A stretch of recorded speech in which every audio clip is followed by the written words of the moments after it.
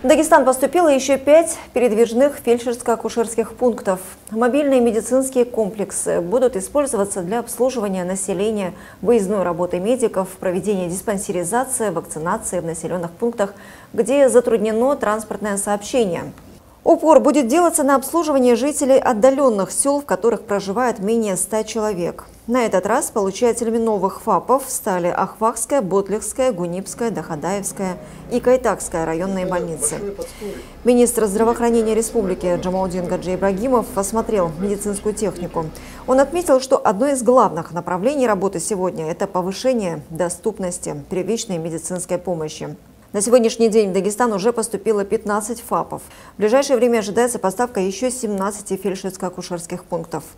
Наше министерство обеспечивает на сегодняшний день вот такими э, машинами. Когда выезжаем на э, медосмотр и диспансеризацию, очень, кстати, вот такие машины, они оснащены определенно внутри, есть оборудование необходимое